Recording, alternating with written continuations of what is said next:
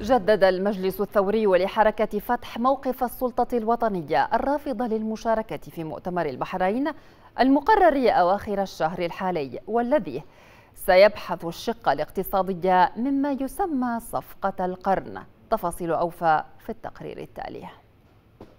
تعتبر السلطة الأعلى في حركة فتح هي مجلسها الثوري هذا المجلس المنعقد منذ يوم أمس يخرج اليوم مؤكدا على قرار القيادة الفلسطينية الرافض لصفقة القرن ولكل ما ينبثق عنها خصوصا مؤتمر المنامة الذي وصفه بيان اجتماع المجلس الختامي بمؤتمر الندامة الهادف لتصفية القضية الفلسطينية ولخلق بديل لقيادتها الحالية المتمثلة بمنظمة التحرير والالتفاف على النظام الفلسطيني.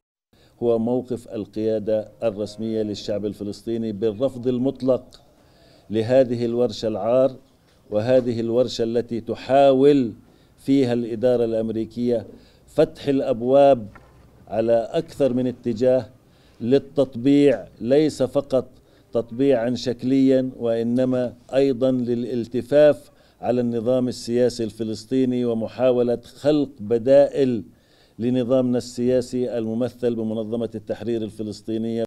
بيان المجلس يدعو الفلسطينيين للخروج خلال أيام الرابع والعشرين والخامس والعشرين والسادس والعشرين من الشهر الحالي وهي الأيام التي ينعقد خلالها المؤتمر أو الورشة الاقتصادية في العاصمة البحرينية. دعا البيان لخروج الفلسطينيين إلى الميادين لأجل فلسطين وقضيتها ولأجل القدس العاصمة الأبدية. مجددا دعوة العرب لمقاطعة المؤتمر الاقتصادي.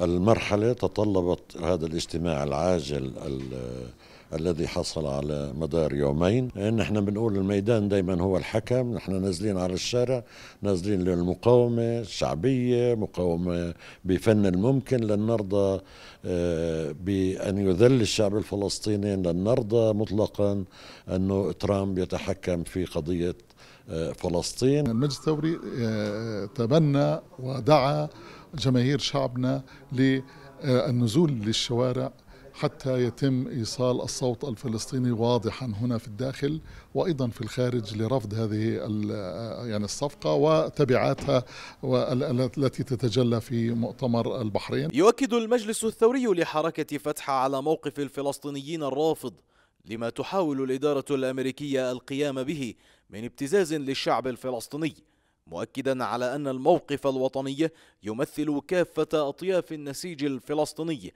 التي تجمعها كلمة واحدة هي رفض صفقة القرن ومؤتمر البحرين الاقتصادي ولأي محاولة تود تصفية القضية الفلسطينية. من مدينة رام الله المحتلة حافظ أبو صبرة رؤيا.